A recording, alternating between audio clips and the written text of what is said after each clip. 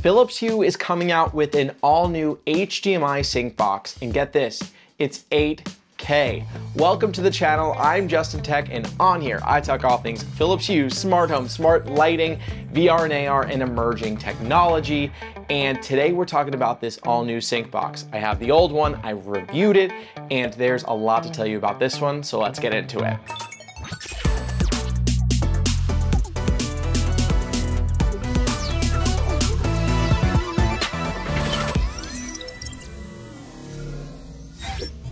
Hueblog reported earlier this year that images were surfaced online of a new sync box. Here's what we can see.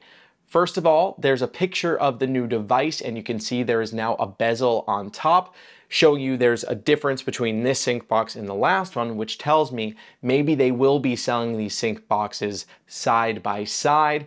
On the box, you can see that it says HDMI sync box 8K. That could tell us a few things. Most likely, this one will support HDMI 2.1, which supports 4K running at 120 hertz.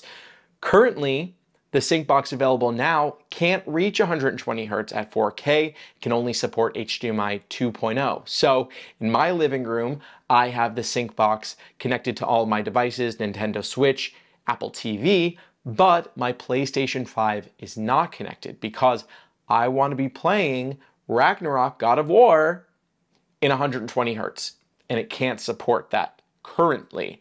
So I have this ugly HDMI cord that is just falling down behind my beautiful TV and my cable protector that I have. My cable management is great besides that. So it's very exciting that they are coming out with a new one.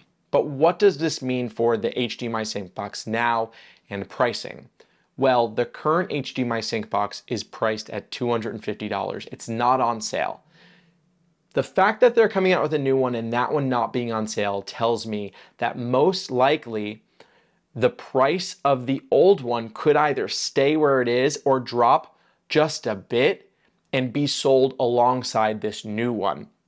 Meaning the new one could theoretically be over $250, which is a huge investment for something that changes the color of your lights behind your TV, which let me tell you, I love. I use it all the time. But when there's competitors out there like Govee who also have TV Sync that, granted, maybe aren't as perfect, when those exist at a much less expensive price, I think that many people may opt for that. I will be reviewing the Govee backlighting TV set very soon, so stay tuned for that on this channel. I also want to kind of compare that to the Philips Hue HDMI sync box and the gradient TV strip that I have on my TV. I reviewed a ton of Philips Hue on here, including that TV strip and the Philips Hue sync box, so make sure to check those videos out.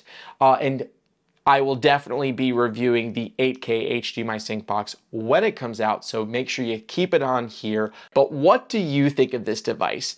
If you have the current one, are you willing to fork out another $250, $300 for an updated sync box? Let me know. If you don't have this and you are a Philips Hue user, does this device um, appeal to you at all?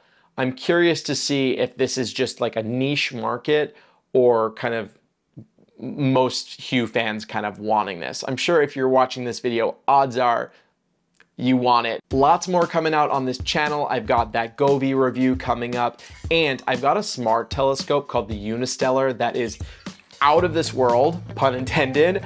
Uh, and I'm very excited to review that for you. I've just been waiting for clear skies and it's been smoky because of the Canadian wildfires. So stay tuned for that. As always, make sure you subscribe to this channel and give it a like if you enjoyed it. I've got more smart home VR, AR, emerging tech, and lots of cool stuff coming and I can't wait for you to see it. I'm Justin and I'll tech you later.